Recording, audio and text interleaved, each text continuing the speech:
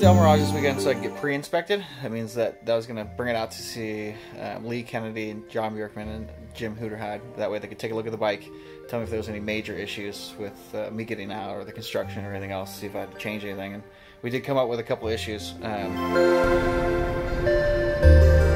Alright, so I got about 95% of the bike together. I got a couple small things I gotta finish up, some bolts. I am heading out to El Mirage. I'm heading out there to get my bike inspected. I'm not heading out to take the first runs. Um, wasn't quite prepared. I had to do a couple major changes.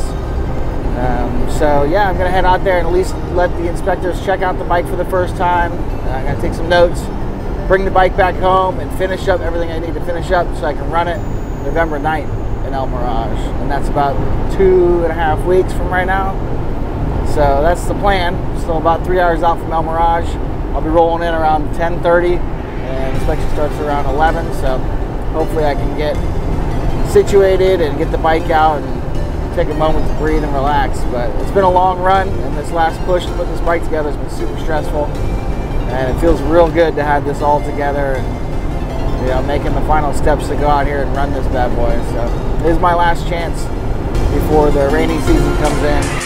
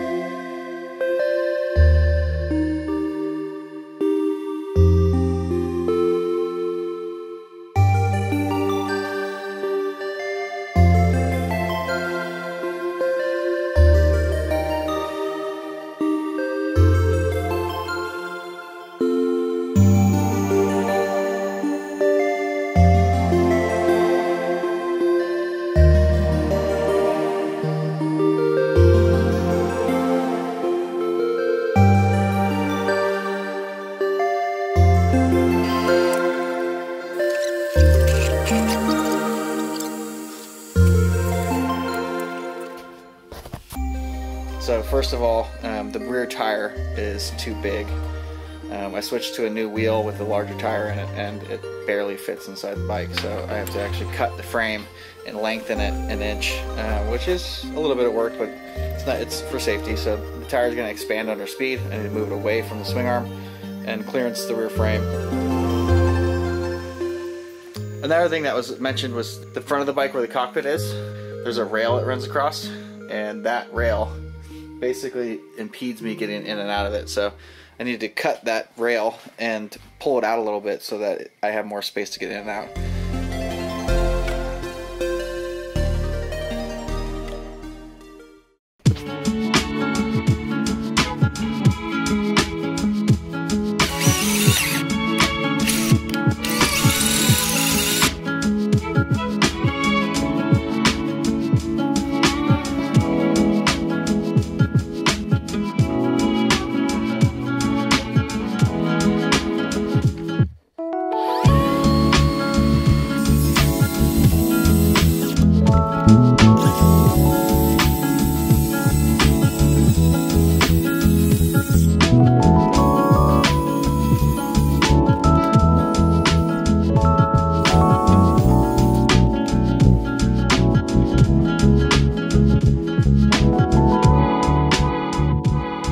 Okay, so major changes.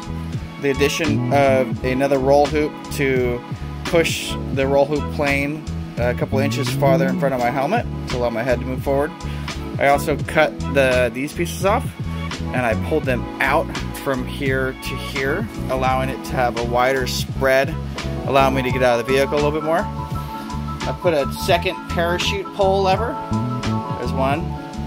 There's the other. I've added that. And I also added these little deflectors. And if you notice, I've cut off the other roll cage hoops because they didn't need to be there right now. And I'll just add them back in. Um, these deflector hoops are left on this one because this is the firewall. Um, you can see there's no fluids that can travel um, between. It's a completely sealed piece except for where the ski runs through, right here.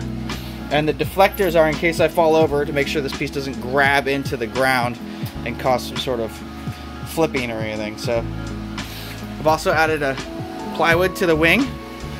Uh, we'll be screwing this down just temporarily for this one race. And the other one is I've added about two inches to the rear section to give me more tire clearance so I can add a link to the chain to provide room for the swelling of the tire. Um, yeah, the these bad boys are actually functioning now, so I put a secondary 12 volt system in place to solely control the tip over sensor, which is controlled by this, it's just a brass ring inside of there. And when it tips over, it makes contact, pulls the relay, which then takes the whole battery and pulls those two solenoids to pull the parachutes out. So it's been a, a long little week here.